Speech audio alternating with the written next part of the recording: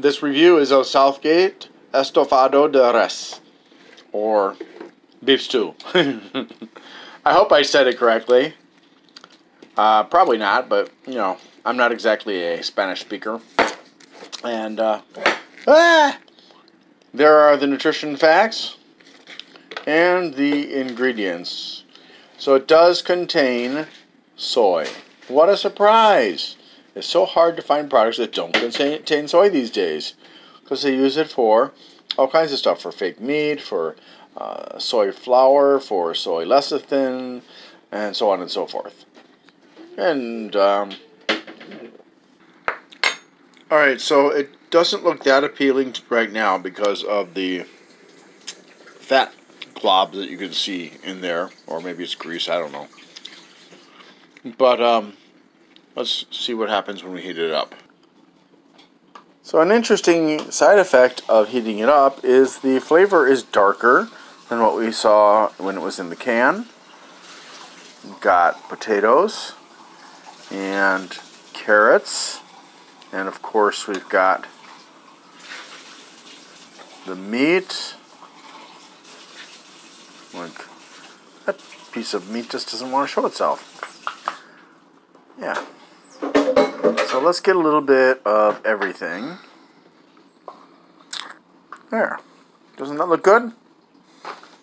Well, I hope so, because I had Southgate a Southgate product once before and I was not impressed.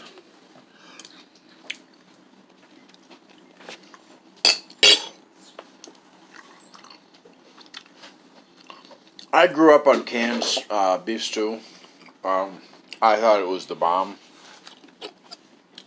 This one has kind of a weird uh, flavor. I don't know if it's what it is.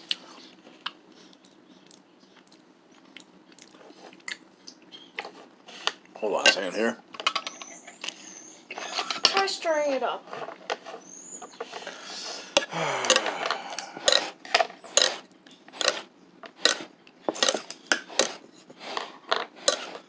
Alright, it's stirred up, so I'm going to try just the carrot right now and hopefully there doesn't seem like there's a lot of carrot in here, so seems like there are more potatoes.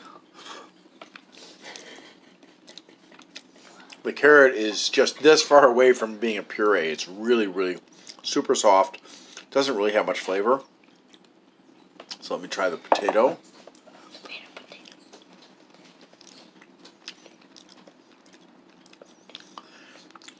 Also, not really flavorful. No. Call me crazy, but when I eat a stew, I expect to be able to taste the vegetables that are in it. And I can't taste the vegetables that are in this. So let's get a let's get one of those rare pieces of meat. Uh, excuse me. Sorry for burping. Did you know that in parts of Indonesia, Hungary, and other countries, burping is not only accepted, it is a compliment to the chef. So whatever machine made that or person. I'm not complimenting it. I'm sorry. I had really kind of hoped that it would taste better. I mean, it's not as bad as I remember it to be, but it's also not wonderful. Um, certainly if you want to have a good beef stew from from a can, right? Not homemade, right? Um, you're better off with Dinty Moore or one of the other main brands. Southgate. I'm sorry, it just it has a lackluster flavor with a weird aftertaste. I just and you can't taste the vegetables. And it's it just seemed to be only two things, potatoes and carrots. I mean, where are the onions? And other things that you might want to have in your your stew. I, I just, I really am disappointed. That's the way it is. Thank you very much and have a good day.